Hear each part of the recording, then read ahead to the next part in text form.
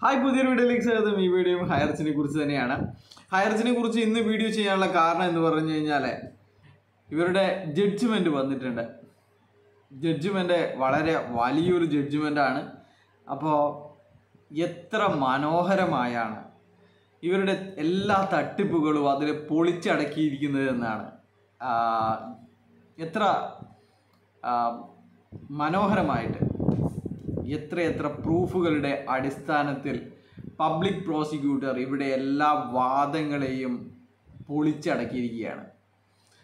ഇവർ പറഞ്ഞുകൊണ്ടിരുന്നത് നമ്മൾ വെറും ഒരു ഓൺലൈൻ പിന്നെ ഗ്രോസറി ഷോപ്പാണ് എന്ന് മാത്രമാണ്. എന്നാൽ അതല്ല അത് ഇവർ വെറും ഒരു പുകമറയാണെന്നും അതിന്റെ മറവിൽ ഇവർ പബ്ലിക്കിന്റെ അടുക്കുന്ന പൈസ വാങ്ങി മണി ചെയിനാണ് ചെയ്തിരിക്കുന്നതെന്നും ഇവർക്ക് ഇത് മാത്രമല്ല മറ്റു പല പ്രൊജക്റ്റുകളും ഉണ്ട് എന്നും. അതൊക്കെ പല പല പോലീസ് സ്റ്റേഷനുകളിൽ എഫ് ഐ ആർ ഇട്ട് അന്വേഷിക്കുകയാണെന്നും ഒക്കെ പറഞ്ഞുകൊണ്ടുള്ള കാര്യങ്ങളാണ് ആ ഒരു വിധിന്യായത്തിലുള്ളത്. പിന്നെ ഈ ഇവരുടെ വിധിന്യായത്തിൽ ഇവർ ആകെ ഇവർ പിടിച്ചിരിക്കുന്നത് അറുപത് ദിവസത്തിനിടയ്ക്ക് ഇവരുടെ പെർമനന്റ് അറ്റാച്ച്മെന്റ് ആക്കാൻ വേണ്ടിയിട്ട് അപ്ലിക്കേഷൻ കൊടുക്കണം എന്നുള്ളതാണ്. അപ്പോൾ അതിനൊക്കെ കോടതി പറഞ്ഞത് ഇതൊക്കെ എന്ന് പറഞ്ഞു കഴിഞ്ഞാൽ കള്ളന്മാർക്ക് രക്ഷപ്പെടാനുള്ള ഒരു സാധനമല്ല. ഈ അറുപത് ദിവസത്തിനിടയ്ക്ക് അല്ലെങ്കിൽ മുപ്പത് ദിവസത്തിനിടയ്ക്ക് കൊടുക്കണം എന്ന് പറയുന്നത് എത്രയും പെട്ടെന്ന് ഈ കള്ളന്മാരെ പൂട്ടാനുള്ള ഒരു പ്രൊവിഷനാണ് അതൊക്കെ. അത് വിചാരിച്ച് ഈ കള്ളന്മാർക്ക് രക്ഷപ്പെടാൻ അല്ലെങ്കിൽ അറുപത്തൊന്നാം ദിവസം അതാ നമുക്ക് കേസൊന്നുമില്ല നമ്മുടെ സാധനം തിരിച്ചു വരണം തരണം എന്ന് പറയാനുള്ള ഒരു സംഭവമല്ല നിയമത്തിൽ പറഞ്ഞിരിക്കുന്നത് എന്നാണ്. അപ്പോൾ അതൊക്കെ എന്തിനു വേണ്ടിയാണ് ഈ നിയമം ഉണ്ടാക്കിയത് എന്നുള്ള കാര്യങ്ങൾ മനസ്സിലാക്കി വേണം ഇത്തരം വരികളുടെ വ്യാഖ്യാനങ്ങൾ ഉണ്ടാക്കേണ്ടതെന്നാണ്. അപ്പോൾ അറുപത് ദിവസത്തിനിടയ്ക്ക് എന്ന് പറഞ്ഞാൽ ഈ നിക്ഷേപകരുടെ പണം എത്രയും പെട്ടെന്ന് തിരിച്ചു കൊടുക്കാൻ അല്ലെങ്കിൽ ഈ പിന്നെ പെർമനന്റ് അറ്റാച്ച് ടെമ്പററി അറ്റാച്ച്മെന്റ് ചെയ്തിട്ട് അത് അവിടെ കിടക്കും. പിന്നെ അത് അവർക്ക് പിന്നെ നമുക്ക് അവിടെ അങ്ങനെ ടെമ്പററി ആയിട്ട് അറ്റാച്ച്മെന്റ് ചെയ്ത് കഴിഞ്ഞിട്ട് കാര്യമില്ലല്ലോ. അവരുടെ പൂട്ടും താക്കോലും എടുത്തിട്ട് അങ്ങ് പോലീസ് പോയി കഴിഞ്ഞിട്ട് കാര്യമില്ല. പക്ഷേങ്കിൽ അത് പെർമനന്റ് ആയിട്ട് അറ്റാച്ച്മെന്റ് ചെയ്ത് അത് സെയിൽ ചെയ്ത് അത് പണമാക്കി അത് നിക്ഷേപകർക്ക് കൊടുക്കാനുള്ള എത്രയും പെട്ടെന്നുള്ള കാര്യങ്ങളാണ് ആ നിയമത്തിൽ പറഞ്ഞിരിക്കുന്നത് എന്ന് പറഞ്ഞത് കൊണ്ട് പറഞ്ഞുകൊണ്ട് ഇവരുടെ എല്ലാ വാദങ്ങളെയും എന്താ പറയേണ്ടത്? അപ്പോൾ ആ രീതിയിലുള്ള കാര്യങ്ങളാണ്. ഒരുപക്ഷെ ഇവരുടെ അഡ്വക്കേറ്റിന് നല്ല ശബ്ദം ഉണ്ടായിരിക്കും. അതുകൊണ്ടായിരിക്കും നല്ല രീതിയിൽ ബാധിച്ചു എന്ന് പറയുന്നത്. ഇദ്ദേഹം പറയുന്നത് ഒരേ കാര്യമാണ്. അറുപത് ദിവസത്തിന് കൊടുത്തില്ല അറുപത് ദിവസത്തിന് കൊടുത്തില്ല എന്ന് പറഞ്ഞ് നല്ല ശബ്ദത്തിൽ പറഞ്ഞിട്ടുണ്ടാവും. പക്ഷേങ്കിൽ അത് വിവിധ ഹൈക്കോടതിയിലെ സുപ്രീം കോടതിയിലെ ഒക്കെ വിധികളെ ഉദ്ധരിച്ചുകൊണ്ട് കോടതി അതിന്റെയൊക്കെ മുനി ഒടിച്ചിരിക്കുകയാണ്.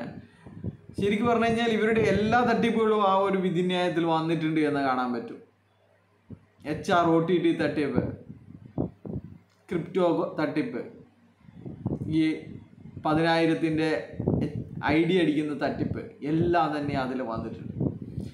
ശരിക്കും പറഞ്ഞു കഴിഞ്ഞാൽ ഈ വിധിന്യായം വായിക്കുന്ന ആർക്കും തന്നെ ഇതൊരു അപ്പീൽ പോലും സ്കോപ്പില്ല എന്നത് മനസ്സിലാവും.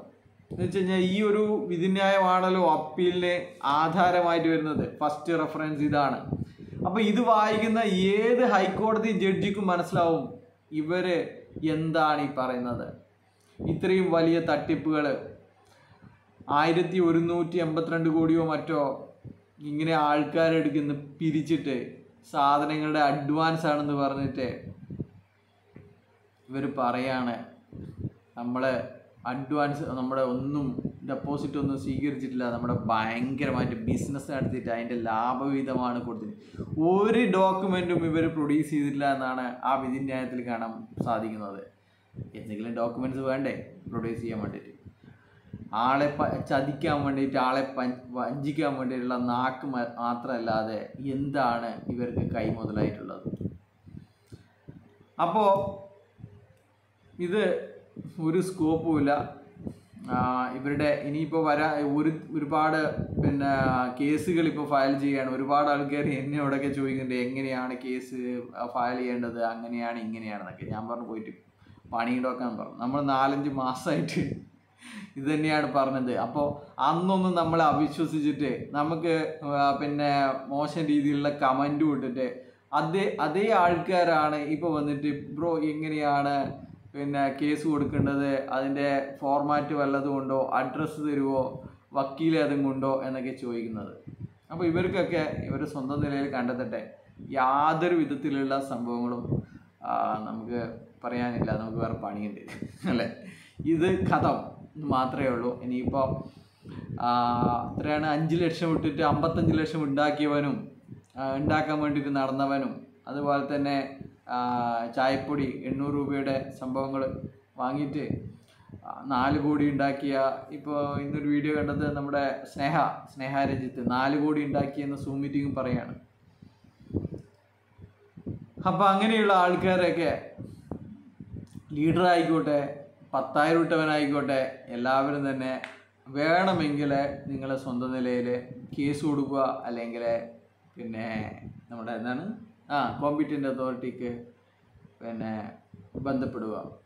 ഇനിയിപ്പോൾ അല്ലെങ്കിൽ നിങ്ങൾ ഇതിന്റെ അപ്പീലും കൂടി കഴിഞ്ഞിട്ട് കേസ് കൊടുക്കുക എന്നൊക്കെ നടന്നു കഴിഞ്ഞാൽ നല്ല രസമായിരിക്കും അപ്പോൾ ഇതൊരു വലിയൊരു വിധിന്യായം ആയതുകൊണ്ട് നമ്മളത് തന്നെ വായിച്ചിട്ട് അതിന്റെ മലയാളത്തിലുള്ള തർജമയൊക്കെ ചെയ്യുന്നത് വളരെ എന്താണ് ഒരു രസമുണ്ടാവില്ല. അപ്പോൾ അങ്ങനെ ആവശ്യമുണ്ടെങ്കിൽ നിങ്ങൾ പറയാം കമന്റ് ചെയ്യുക ഇതിന്റെ Malayalam line by line paragraph by paragraph തർജമ ആവശ്യമുണ്ടെങ്കിൽ പറയാം. അല്ലെങ്കിൽ നിങ്ങൾക്ക് ചെയ്യാവുന്നത് നിങ്ങൾക്ക് ഇതിന്റെ മലയാളം ട്രാൻസ്ലേറ്റർ വെച്ചിട്ട് ചെയ്യാവുന്നതേ ഉള്ളൂ. Okay bye